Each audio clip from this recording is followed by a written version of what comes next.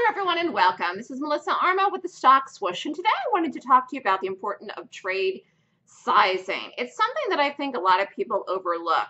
Uh, one of these days, I'm going to get onto the whiteboard and I'm going to do a show for everyone and show you written down examples on the board of exactly what I mean. But just to speak a little bit about it today briefly, the bottom line is that when you're taking trades, most of your trades should be as close as you can to the same sizing, whatever that sizing is that you choose of dollar and cent risk. That means that your share quantity is not going to be the same for every trade.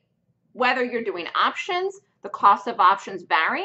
Whether you're doing day trades, the cost of the stop, um, the difference between the risk and the entering the stop varies. You cannot take a thousand shares, a thousand shares, or even one contract in every single option, whatever the case may be. You could take one contract in Amazon that may cost $50, which is $5,000. And if you're not risking $5,000 in every trade, then you're upside down in your risk. That isn't good. What do I mean? Say you take three trades, okay?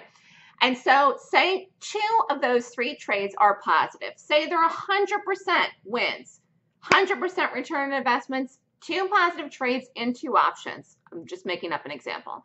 Then say the third trade is a loser, okay?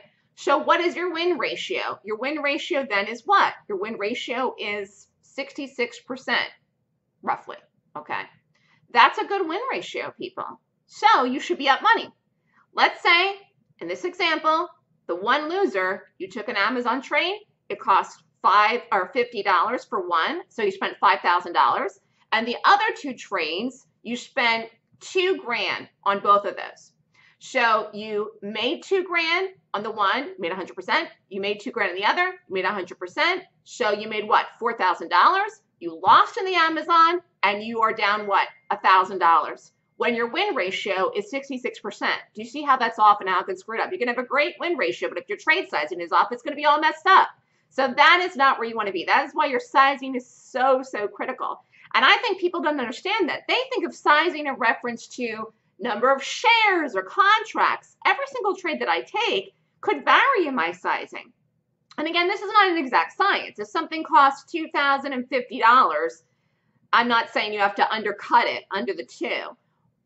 And and so you this is an this is an average. But the idea of risking double or triple or quadruple the amount of risk in a trade is going to make your whole P&L go like this.